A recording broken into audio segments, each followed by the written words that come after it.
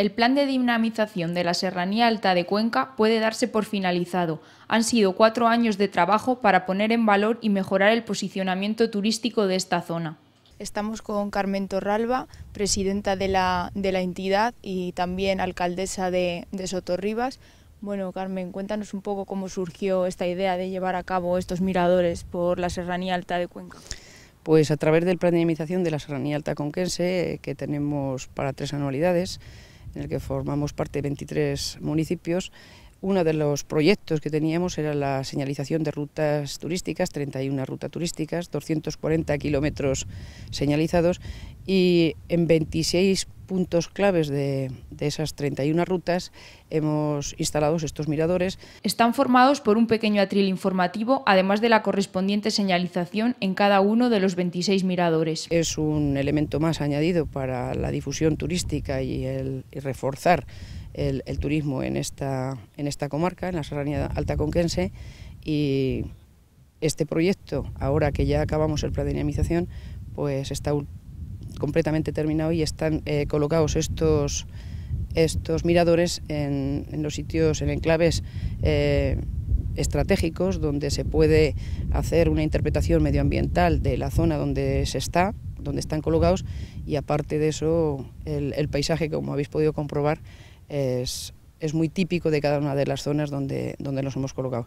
Este proyecto ha tenido un coste importante, pero ha generado empleo dentro de la comunidad, algo destacable en tiempos de crisis. Han sido 300.000 euros de inversión y ha sido una empresa, una Desarrollo Serrano, una empresa del propio territorio, de la propia de Serranía Alta, el que ha hecho, eh, han hecho estas obras. Por lo tanto, aparte de darle valor al territorio, eh, valor añadido con, con, estos, la colocación de estos miradores y la señalización de estas rutas, el empleo que ha generado y la actividad económica que ha generado también se ha quedado dentro del territorio, que creo que en los tiempos que corren es importante. Además, el número de visitantes ha sido mayor y ello puede verse en las pernoctaciones que se han registrado en estos municipios. Hemos conseguido a través de dinamización que haya más pernoctaciones dentro de, de más pernoctaciones a lo largo del año en la serranía, en nuestros alojamientos que aquí están enclavados en los alojamientos turísticos.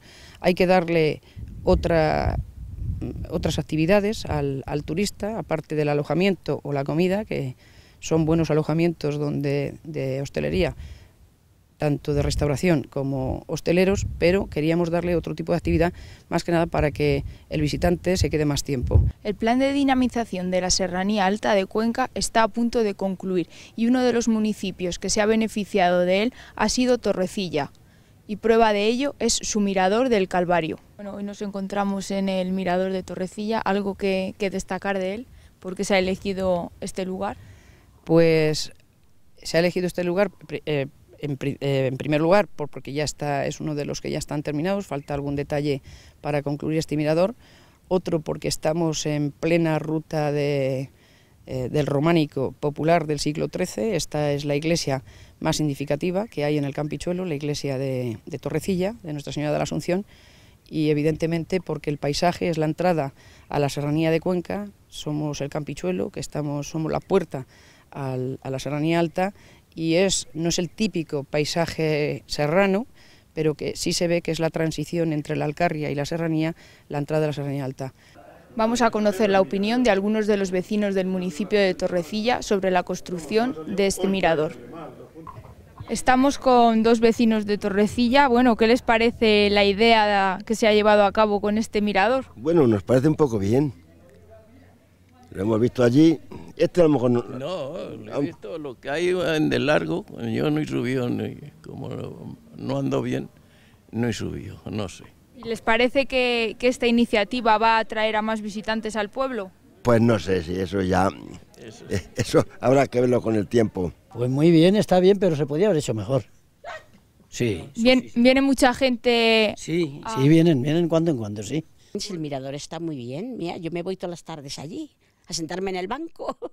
Muy bien, La, el que ha tenido esa idea nos ha gustado mucho. Lo que pasa es que hay mucha hierba y tenían que limpiarlo un poquito más, pero lo demás, estupendo. Pero de los 26 miradores, por su atractivo, hay unos que gustan más que otros. No sé si ha tenido tiempo de, de visitar todos los miradores que se han llevado a cabo, pero no sé si, de, si destacaría algunos que le, que le gusten más que otros.